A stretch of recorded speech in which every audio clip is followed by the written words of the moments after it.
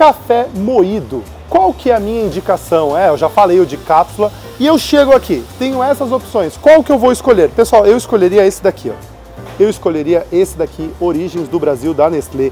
Eles são cafés de categoria especial, 100% arábica. E se não tivesse esse daqui, eu compraria este daqui, que é um gourmet da Melita e que tem um custo-benefício muito bom.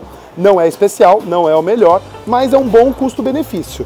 E caso eu não encontrasse nenhum desses, até de custo-benefício, a ideia também, né? Porque tem cafés muito bons, mas são muito caros. Esses daqui, dessa linha Rituais, da Três Corações de cafés especiais, também é uma boa indicação que eu compraria. E aí, gostaram dessas dicas? Qual é o que você está consumindo hoje em dia? Comente aqui embaixo.